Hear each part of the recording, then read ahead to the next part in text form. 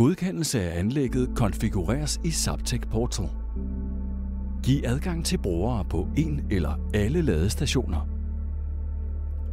Tilføj RFID-brik. Vi viser dig nu, hvordan du begynder at oplade med godkendelse. Du starter med at logge ind på appen.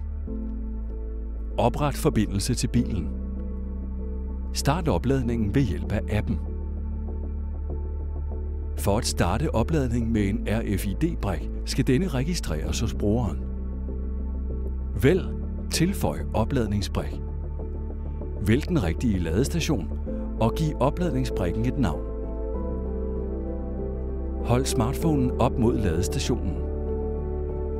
Hold opladningsbrikken op mod ladestationen og følg instruktionerne i appen.